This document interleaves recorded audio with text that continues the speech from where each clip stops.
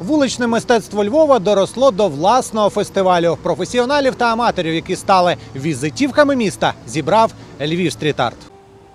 До участі у фесті зголосилося близько сотні учасників. Тут і вуличні музики, і творці хендмейду, і майстри графіті. Ті, хто творить мистецтво просто на очах у перехожих.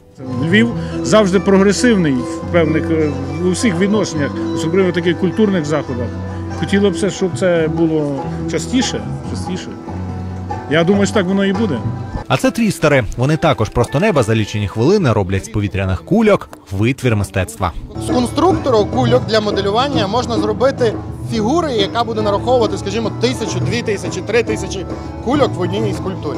Цей фестиваль ламає стереотипи про вуличних митців, кажуть учасники Львів стріт-арту. Хотілося б, щоб і тут якось інакше сприймали людей, які займаються творчістю, якось щось доносять до людей таке, чого ні руками не спіймати там.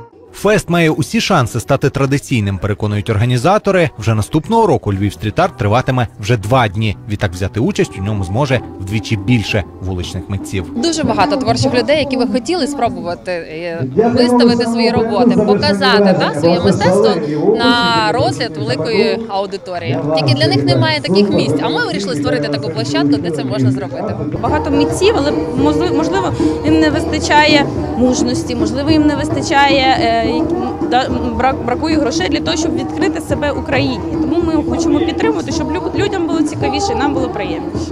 Родзинкою фестивалю стало 12-метрове графіті, яке передадуть дитячому будинку. Віталій Кублік, Олександр Бригадир. Головні новини Львова.